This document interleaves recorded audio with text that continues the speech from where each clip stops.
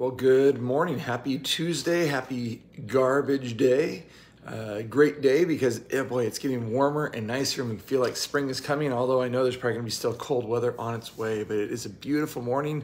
Uh, the sun is rising earlier, so now when I wake up, I don't feel so uh, like it's still nighttime and I should still be in sleep. But uh, boy, it's uh, beautiful and uh, loving each day. I got to speak to all my kids yesterday, which was wonderful gift too missing Abby and Josh quite a bit, but uh, boy, hearing what the Lord is doing through them and for them in their schools and how much uh, joy and pride they're having is just a, a wonderful blessing uh, as, a, as a parent and uh, as a pastor too. Uh, today's devotion uh, is from our gospel from this last weekend. good morning, Lori. and with that devotion, one of the readings was the gospel, which I did not preach on. I spoke more about Joseph, but I also want to just encourage because Jesus gives us some very uh, strong words of how to live our lives, which I went, I used the word, uh, you know, following Christ, well, is extremely difficult. It's rather impossible. Uh, we rely upon his spirit to enable us to do this. So I want to have a, a little bit of a, a, reflection upon God's word today from Luke 6, 27 to 38, which says, But I say to you who hear, Love your enemies. Do good to those who hate you. Bless those who curse you. Pray for those who abuse you. To one who strikes you on the cheek, offer the other also. And from the one who takes away your cloak, do not withhold your tunic. Either give to everyone who begs from you, and do not, and from the one who takes away your goods, do not demand them back. And as you wish that others would do to you, do so to them. If you love those who love you, what benefit is that to you? For even sinners love those who love them. And if you do good to those who do good to you, what benefit is that to you? For even sinners do the same. And if you lend to those from whom you expect to receive, what credit is that to you? Even sinners lend to sinners to get back the same amount. But love your enemies and do good and lend, expecting nothing in return and your reward will be great, and you will be sons of the Most High.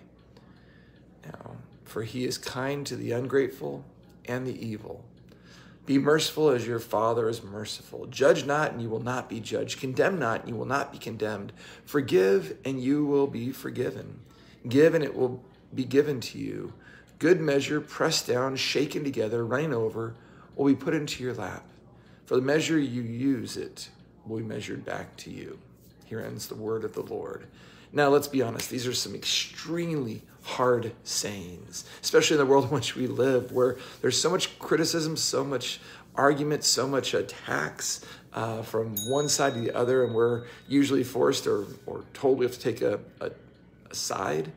Here we have Jesus' sayings that are just so contrary to human nature.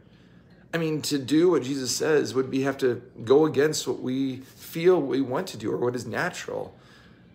They're like directions that only those who really, really, really, really love Jesus would ever want to follow. I mean, who would ever want to do these kinds of things? It would have been really easier, easy for the gospel writers to try to water down these sayings of Jesus. I mean, they could have uh, said, uh, "Love your enemies," but instead of that, um, you know, just be be kind to them or well you know ignore them for a little while and they'll get the point and they'll drift away i mean that's maybe what our nature our nature tells us for centuries a bad blood that we, there's been between nations between tribes we hear what's going on over in russia and ukraine right now and even among families who's interested in ever loving their enemy so maybe if i just kind of avoid them well then they'll they'll die and I don't have to worry about them. They'll move away or they'll just kind of get the hint and go somewhere else. Maybe I don't have to do anything too rash. But the problem here is that Jesus' words show, as scripture often does, how God's ways are not our ways. Not even close, not even an inch close. Uh, God would have us to give rather than to take. He would have us to forgive rather than punish. And Though we are created in God's image, our resemblance to our Maker quickly fades when the rubber hits the road. But Jesus gives you and me the opportunity to become more like Him, doesn't He?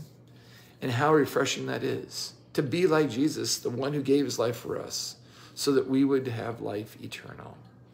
See, the one who gives us these directions to go out to forgive, to love, to pray for, to lend, uh, which all go against our human nature, he sets the example. He lives that life himself.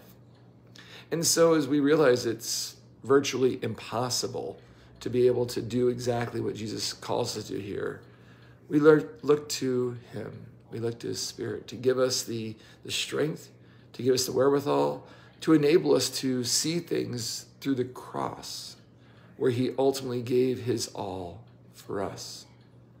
You see, it's the cross that brings these things into meaning because it reminds us of God's will for all people.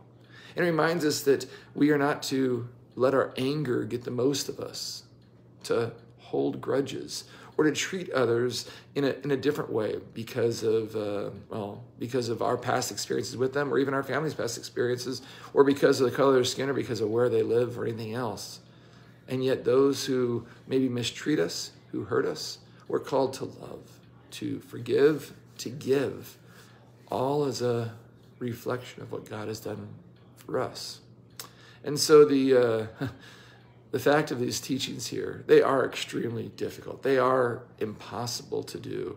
Our nature doesn't want us to. We want to protect ourselves. We want to take care of our family. We want to take care of ourselves into retirement. We don't want to give to people who don't lend back or who don't pay back.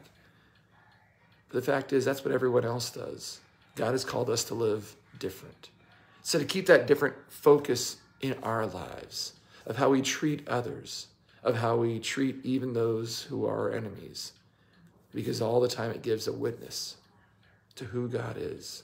And if we're truly professing who God is in our lives, it's lived out in how we interact with others. Paul writes in Philippians 2 in your relationships with one another, have the same mindset as that of Jesus Christ. I mean, that, that's, that's our, our focus. The way we treat others would be the way that Jesus would treat them himself. Well, what if they are people who are horrible sinners? He would eat with them. He would share his love and compassion. He would not seek them to continue to sin, but to continue to be kind and compassionate and lead them towards the means of salvation, which is him himself. And so that's our, our role, pointing people to Christ through our lives, through our words, through our actions.